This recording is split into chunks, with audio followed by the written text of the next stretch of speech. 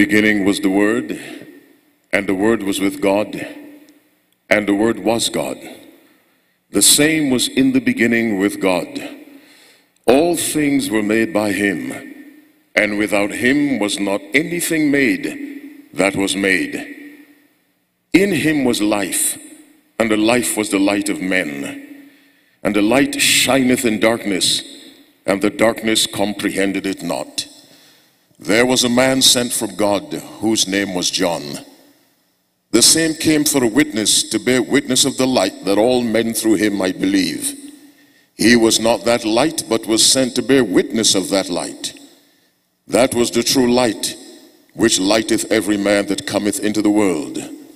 He was in the world, and the world was made by him, and the world knew him not.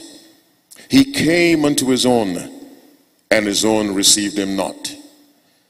But as to them that received him, gave he power to become the sons of God, even to them that believe in his name, which were born not of blood, nor of the will of the flesh, nor of the will of man, but of God. And the Word was made flesh and dwelt among us, and we beheld his glory, the glory as of the only begotten of the Father, full of grace and truth. God is good, and all the time. Good evening, everyone. How was your day? Thank God for that. Mine was also good, and I'm eternally grateful to Him for that. I thank Him for life. I welcome you. I welcome those connecting via Facebook and YouTube, wherever you are. We're grateful for your joining this way, and may the Lord bless you as surely as we believe he will bless us in this place. Is there anyone present right now who is not a Seventh day Adventist? Your guest. May I see your hand? You are a guest. You're not an Adventist. Ah, can we get a microphone to our distinguished guest, please? We just want to know his name. Just get a microphone to our guest. We are glad you are here. Uh, there we are. We have a live mic. Okay, right over here, the distinguished gentleman in the black shirt. Good evening. Good evening. My name is Joel. Joel? Yes. As in the Bible, Joel. Yes. Nice to see you, Joel. Where are you from? West of the cities, uh, Watertown, small town west. Not far from here. Correct. All right. And who invited you? All right. Well, we're very glad you've come. I say that very sincerely. Thank you for being with us, and may the Lord bless you, bless you abundantly. Say amen for Joel. And may the Lord bless your family. I believe there are those online who are also guests, wherever you are. May the Lord place his hand of mercy and generosity upon your lives and never remove it as long as you live on this earth. Thank you again for being with us. Our subject for tonight, it's already 10 after 7, is get up. Our subject is what? Get up.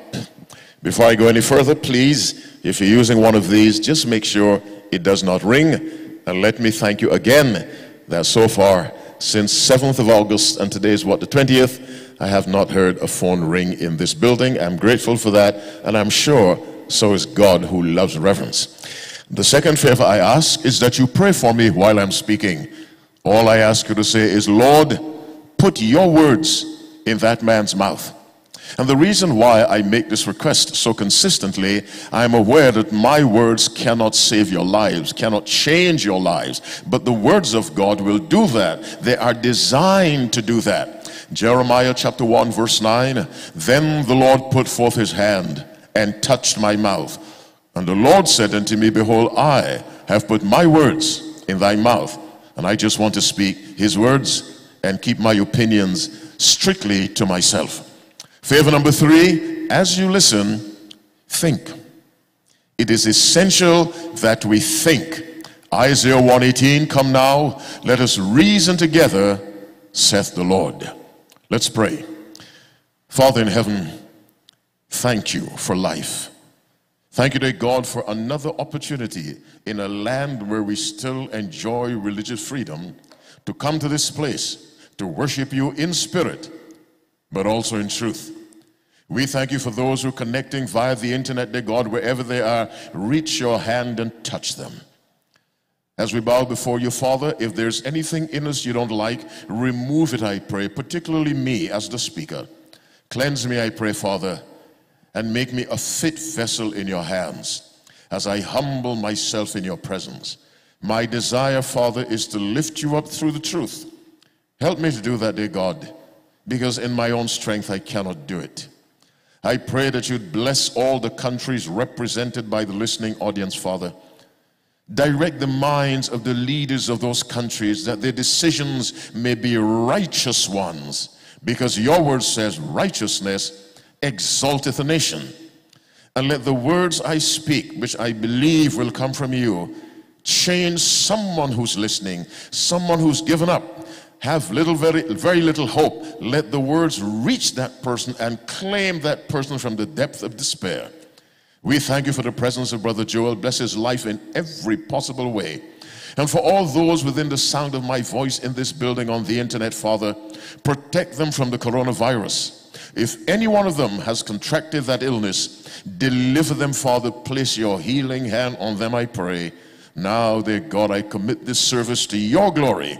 Accept it, I pray, and bless us in Jesus' name. Amen. Our subject, get up. And it's already 7.15. I think I'll go right up to 8 o'clock. I believe I have to do that tonight. I hope you won't mind too much. I always try to release you before 8, but tonight I'm sure I am going to 8. We will see how that plays out. Let us go to Genesis chapter 3. Well, Genesis chapter 2. We'll read 16 and 17. Genesis chapter 2, reading verses 16 and 17, and I read from the King James Version of the Bible.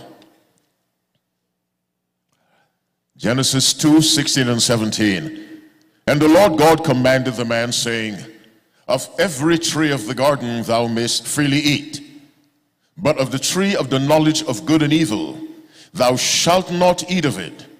For in the day thou eatest thereof, thou shalt surely die. And introduced in the Bible is the concept of death. That's where it is first introduced, as far as books go in their chronological order.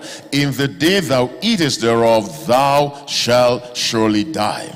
Let us go to chapter 3. We read verse 17. Our subject, get up.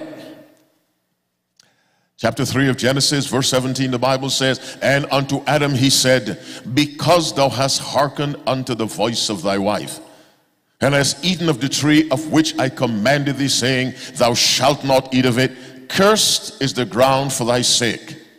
In sorrow shalt thou eat of it all the days of thy life. Thorns also and thistles shall it bring forth unto thee, and thou shalt eat the herb of the field. Verse 19, In the sweat of thy face shalt thou eat bread, till thou return unto the ground, for out of it wast thou taken. For dust thou art, and unto dust shalt thou return. God tells Adam, when you die, you go back to where you came from, which is dust. Because the Bible tells us in Genesis 2 verse 7, and the Lord God formed man of the dust of the ground. God told him, when you die, that's where you go to dust. That's the condition of a dead person, virtually dust or a form waiting to decompose back into dust. Now, let's take another look at the condition of a dead person. Let us go to Psalm 30. We read verse 8 and 9. Psalm 30, verses 8 and 9, our subject, get up. I cry to thee, O Lord, and unto the Lord I made supplication. What profit is there in my blood when I go down to the pit? Shall the dust praise thee? Shall it declare thy truth? The, the, psalmist is saying, God, what's the point in killing me? How do you profit? Because when I'm dead, I cannot praise you. I cannot preach your truth. Shall the dead, the dead dust praise thee? Shall it declare thy truth? So we're told clearly that in death, the person who has died cannot speak, doesn't know anything. Let's go to Proverbs chapter 9. Not Proverbs, sorry. Ecclesiastes 9. We read 5 and 6.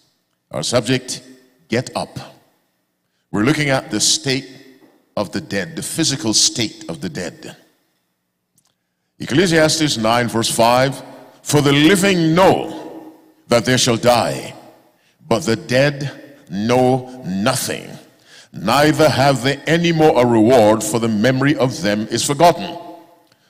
Also, their love and their hatred and their envy is now perished neither have they any more a portion forever in anything that is done under the sun. So those two verses tell us the emotional structure of a person ceases to function at death. Their love, their hatred, the entire gamut which is compassed by those two opposite words, love and hatred. The envy is now perished.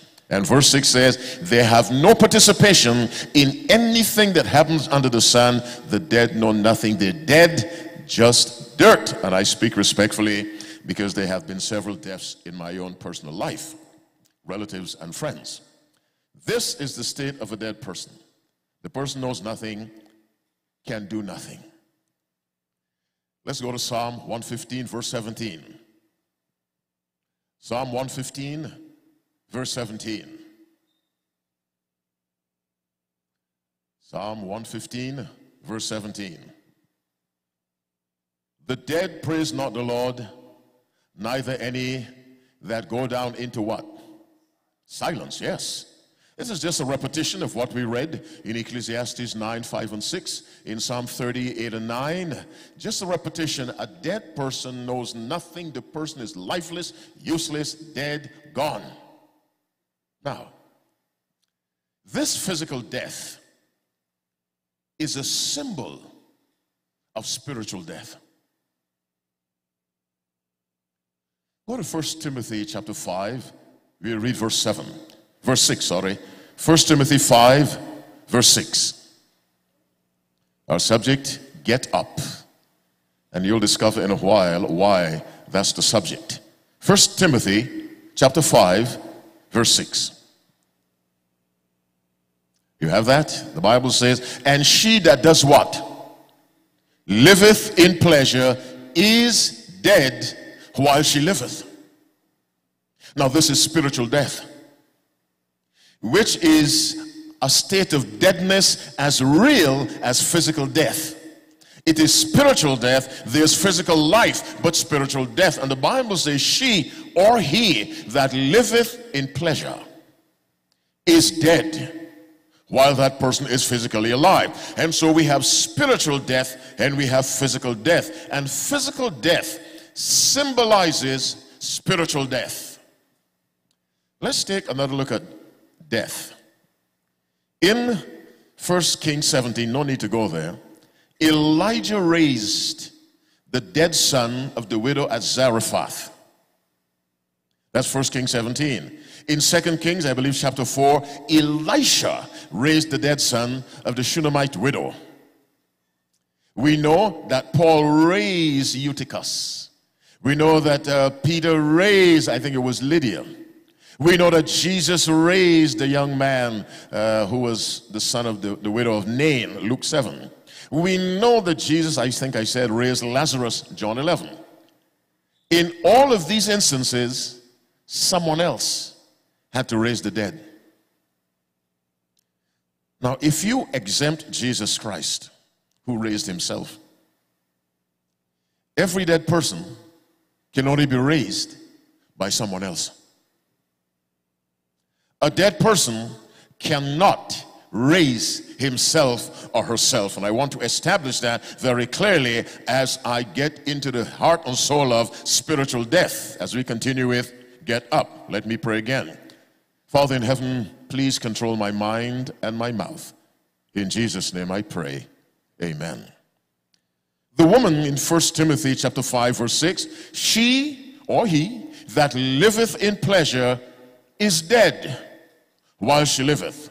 Now, Elisha raised someone, Elijah raised someone, Paul raised someone, Peter raised someone from physical death by the power of God, of course.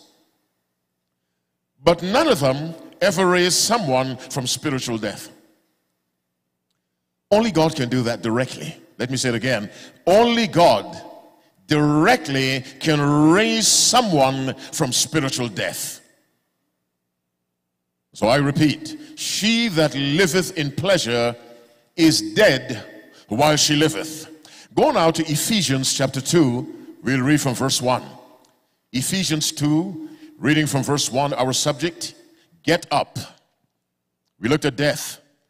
The dead person knows absolutely nothing. The person just begins to decompose, as was the case of Lazarus after four days in the tomb.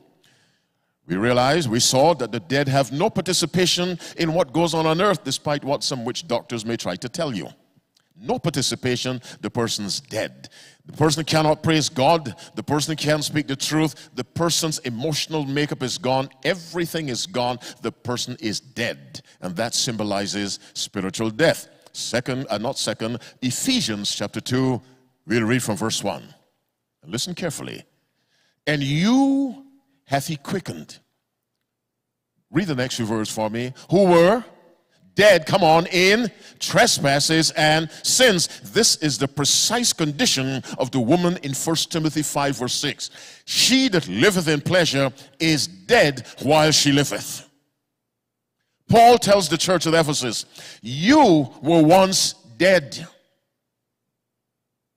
Literally dead, spiritually, if there's such a combination of words, as a person is physically dead, dead unable to do anything for himself, a spiritually dead person cannot raise himself or herself. And so Paul writes, and you hath he quickened who were dead in trespasses and sins. This is spiritual death. The question then becomes, how is a spiritually dead person raised? Well, since we began with physical death as a symbol of spiritual death, let's look at how physically dead people are raised. John 11, verse 43, the most famous of all the resurrections, Lazarus. John 11, reading verse 43, our subject, get up. John chapter 11, reading verse 43 is 25 after 7. The Bible says, And when he thus had spoken, he cried with a loud voice, Lazarus, come forth. And he that was dead came forth, bound hand and foot in grave clothes. Lazarus was raised by the word of God, physically. Let's look at the son of the widow of Nain. Luke 7, let's read verse 14.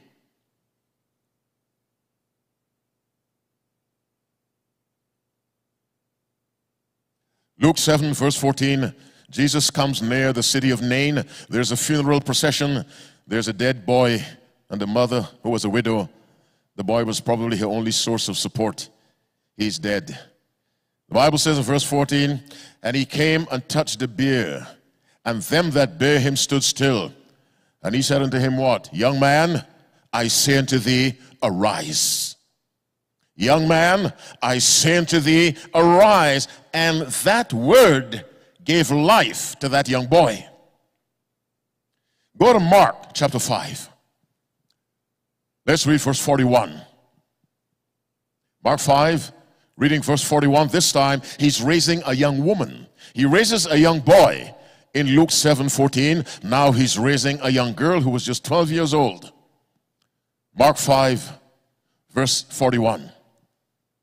And he took the damsel by the hand and said unto her, Talitha cumi, which is being interpreted, Damsel, I say unto thee, arise. And immediately the damsel arose and walked, for she was of the age of 12 years. And they were astonished with great astonishment. Jesus raised that young girl with his word. He raised that young boy with his word. He raised Lazarus with his word. This is physical resurrection. Let's go to 1 Thessalonians chapter 4. We read from verse 16. Our subject, get up. What did Jesus say to that boy? Young man, I say unto thee, arise, get up. What did he say to the young girl, the dead girl?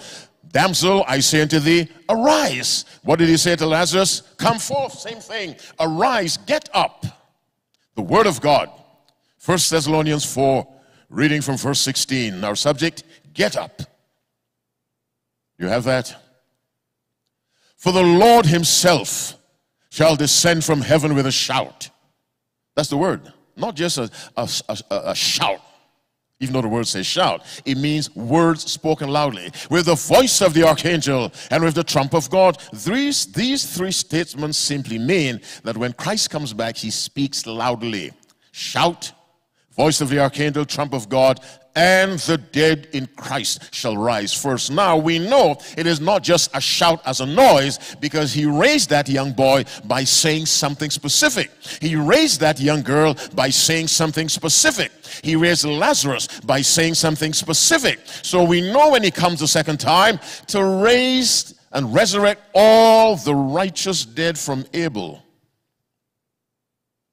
He just speaks and all the righteous dead get up. He doesn't touch anyone. Because the Bible says, Then we which are alive and remain shall be caught up with them in the clouds to meet the Lord in the air. The Bible is very clear. When Jesus comes back, he does not touch the earth. He hovers somewhere in the atmosphere, raises the dead with a tumultuous voice. He speaks his word. Go to John 6. Let's read verse 63. Our subject, get up. John 6, verse 63. It's 7:30. I feel confident I'll release you before 8. What book did I say? John. What chapter? 6. What verse? 63. Listen carefully to Jesus. It is the spirit that does what? Quickeneth. What does quicken mean? To make alive. It is the Spirit that quickeneth. You know, Romans 8 1, Jesus said, For the law of the Spirit of life in Christ Jesus, of verse 2, hath made me free from the law of sin and death. The law of the Spirit of life. Jesus says, It is the Spirit that quickeneth or gives life. The flesh profiteth nothing. Read microscopically now. The words that I speak unto you, they are spirit, come on, and their life. The Word of God is spirit filled and it's living. And so Jesus raised Lazarus, the young man from the city of Nain, Jairus' daughter. He speaks, he spoke, and they got up. He will raise all the righteous dead by speaking, and they will come up. That's how he resurrects the physical dead. Since physical death is a symbol of spiritual death, we can conclude as we reason through the scriptures, he raises the spiritual dead the same way with his word. Go to Ephesians chapter 5. Ephesians 5. Let's read from verse 10, 14.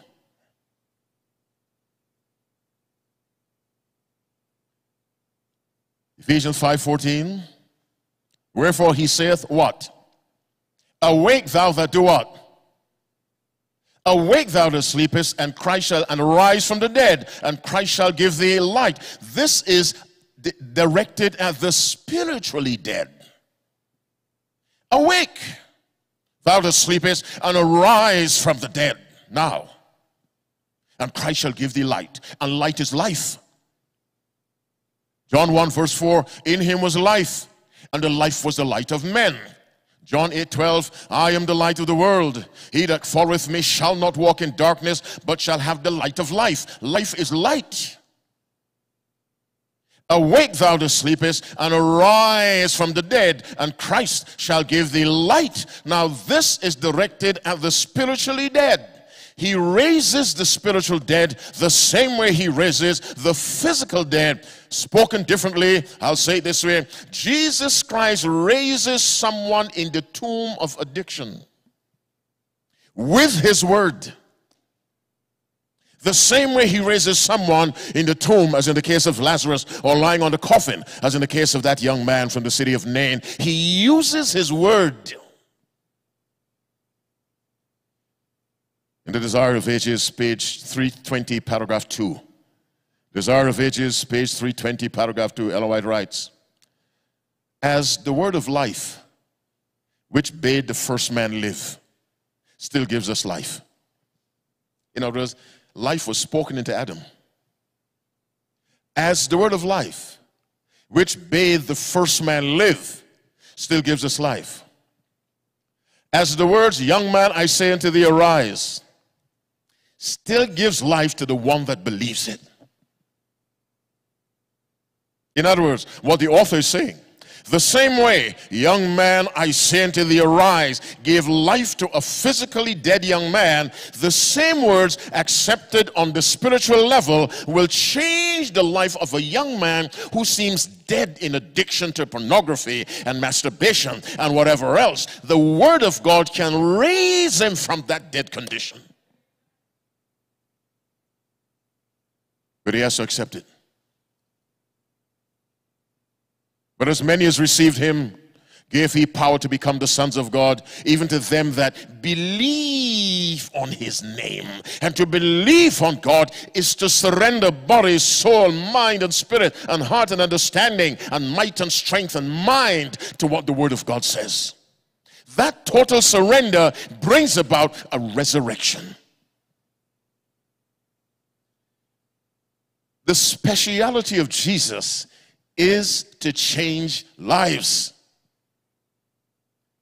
And the first action of changing a life is to raise that person from the dead. Jesus Christ did not have to die in order to improve someone. You can do that by yourself. You need not have God's involvement to improve yourself, but in order to change, in order to come from spiritual death into vigorous life, we need God, and He communicates that power through His Word. And so when he said to that young man, Young man, I say unto thee, arise, he is saying it to every young man trapped in some addiction, some life of sin, some older man, some older woman. The word of God is the life giving agent that Jesus uses to resurrect the spiritual dead. All he requires is that we believe. Let's look at an example of believing and that belief giving life.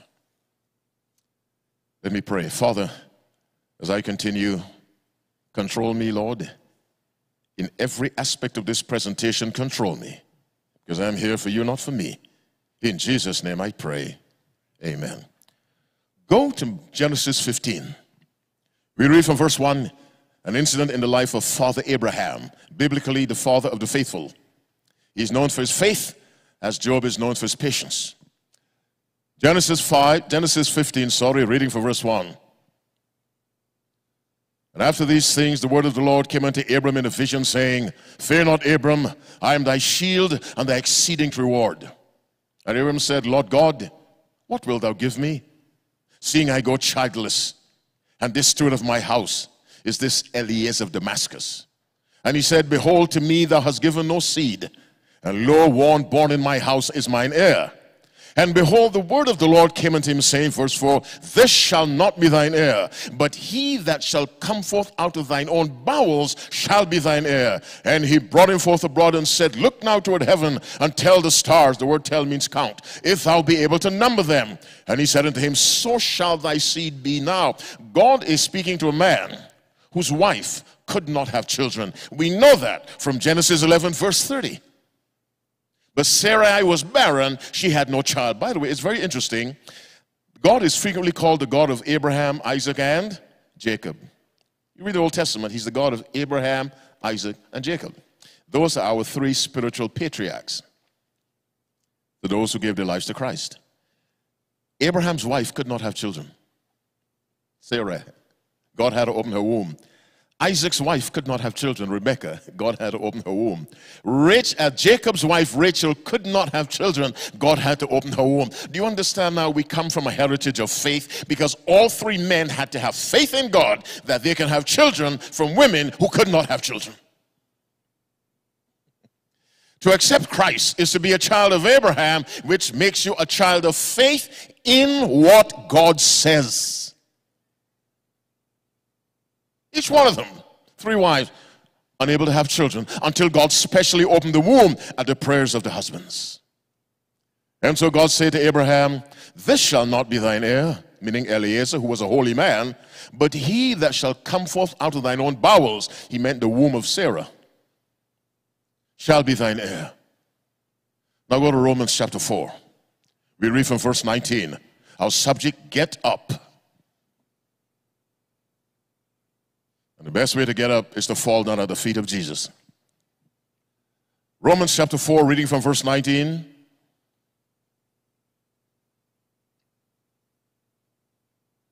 And being not weak in faith, he considered not his own body now dead when he was about a hundred years old, neither yet the deadness of Sarah's womb. Let's pause. We're looking at death and we're looking at the power to resurrect that dead. The Bible says Abraham, he'd come to the point, his loins were dead. You know exactly what that means. His wife, her womb was dead, nothing productive from that womb. The Bible says, and being not weak in faith, despite the deadness of his womb, loins and the deadness of Sarah's womb, Abraham believed, thus saith the Lord. This is surrender to what the Word of God says. This is how the spiritual dead are raised a total submission to God's Word. You looked at his dead loins, that's not a problem. His, the dead womb is his wife. That's not a problem because the triumph is in thus saith the Lord. He staggered not at the promise of God in unbelief, but was strong in faith, giving glory to God. Verse 21 of Romans 4 being fully persuaded. I thank God for those two words fully persuaded that what he had promised, he was able also, come on, finish the verse to perform now. Young man listening to me somewhere on YouTube, Facebook, you're by yourself. Young lady, you're by yourself. Older man, older woman, you're caught up with this addiction. Abraham's condition was probably worse than yours. Dead loins, dead womb, and from dead loins, and dead womb came living Isaac. Somebody say amen. Why? Because the word said so. And Abraham believed it. He believed against the impossible. You're listening to me. You probably have given up ever being delivered from this condition you're in. Don't do that. Believe that what God has promised he's able to perform. And what his promise is that he is able to raise the spiritual dead. God can deliver you and raise you from that tomb and that mausoleum of addiction and whatever else has your life cursed. God can raise you up and deliver you and give you life. But you've got to believe it. You've got to believe God can break you free of cigarettes. You have to believe it. You believe it by submitting to this word. When God told Abraham he'd have a son, you read Genesis 17, Abraham laughed at God. Genesis 17, verse 17.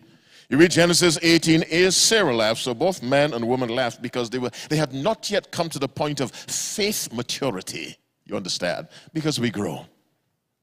But it did come to that point. We looked at Abraham. Let's look at Sarah and the strength of her faith. Let's go to Hebrews 11. We'll read from verse 8, our subject, get up. Hebrews 11, reading from verse 8, 20 minutes to 8. Let me slow down. When I get excited, I go too quickly. That's not good. I hope someone has prayed for me and said, Lord, put your words in that man's mouth. You can see I need it. What book did I say? Hebrews, what chapter? 11, what verse 8? By faith, Abraham, when he was called to go out into a place which he should after receive as an inheritance, obeyed. And he went out, not knowing whither he went. By faith, he sojourned in the land of promise, as in a strange country, dwelling in tabernacles with Isaac and Jacob, the heirs with him of the same promise. By faith, he sojourned in the land of Canaan, as in a strange country. Now, God had promised that land to him Even though he moved from place to place, he never lost the, the consciousness one day this will be mine. By faith, he sojourned in the land of promise. And a promise is something said. Are you with me? A promise is something said. And so he sojourned in the land of promise, the land of the word of God, as in a strange country, dwelling in tabernacles with Isaac and Jacob, the heirs with him of the same promise. Verse 9, for he looked for a city which had foundations, whose builder and maker is God. Verse 12, through faith also, through what? Faith also, Sarah herself received strength to conceive seed and was delivered of a child when she was past age because she'd what? Judged him faithful who had promised. Sarah came to the place where she had unconquerable faith in the word of God. I am unable to have children. I am past the age of productivity and fertility, but God said, I'll have a child, and I submit entirely to that word. And she had a child a dead womb, dead loins. From the deadness of what you consider a hopeless situation, God can raise you up. That's His speciality. He does it through His Word. And so tonight, God is saying to a young man, a young lady, you're about to get into this behavior that has really broken you spiritually. He's saying to you, as He said to that young man, arise. He's saying to you, young lady, as he said to Jairus' daughter, arise, Get up. Wherefore he saith, Awake, thou that sleepest, and arise from the dead. Arise, receive that word into your heart, and watch your life change. It is the word of resurrection. Believe it. But notice what Philip told the Ethiopian eunuch. Go to Acts 7, not Acts 7, sorry, Acts 8. You know the story of the Ethiopian eunuch who was reading the Bible in his chariot? He did not know what he was reading, so Philip explained it was Christ he was reading about because he was reading Isaiah 53. Verse 36 And as they went on their way, they came unto a certain water. And the eunuch said, See, here is water. What doth hinder me to be baptized? And Philip said, If thou believest how? Come on, tell me. Tell me. If thou believest how? With all thine heart thou mayest. If you believe with all your heart, this is what God wants. Abraham came to the place where he believed with all. Many, many years ago, I worked in a, uh, a home where troubled boys were placed. They couldn't live at home. And the courts assigned them to these places. And I would work a certain shift and make sure they behaved themselves and took the medication and went to school, whatever else. And one day we had a, a team building, trust building exercise. And here's the way it went. Step up a little higher if it does not ruin the camera shot. The boys all stood in two lines along with staff members. There were about seven in this line, seven in that line, and they linked their hands like this and held them down. Now I stood on a chair facing backward. What was I supposed to do? Fall back. Now, it's one thing to fall watching, then I could put my hands down. Now, these are boys whose behavior was such they couldn't live at home. Are you following me? I am supposed to just fall back, believing what? They'll catch me. I'm so grateful they did. God's word, the hand of God and the hand of Jesus, like this. This is you. God says, You see that tree? I made it with my word. You see that sky? I made it with my word. you see the ground you're standing on? I made it with my word. Now, my word says, If you fall back, I'll catch you. You fall back. That's the faith God wants. You don't fall back like this. You say, Jesus, could you shift your hands? You fall back. Why? Because the word says, fall back.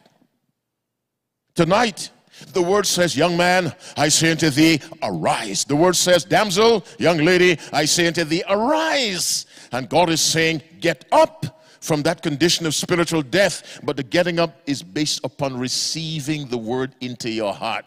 That word, young man, I say unto thee, arise, will resurrect you if you receive it with all your heart. That's what Jesus came to do. That word will lift you from the fumes of alcoholism and the miasma of smoke and marijuana if you will receive it into your heart and not doubt. Doubt is deadly, faith is life. And so tonight, God says to you, get up. We look at one final Bible passage and I pray. Go to John chapter 5. Our subject, get up. John 5. Let's read from verse 1.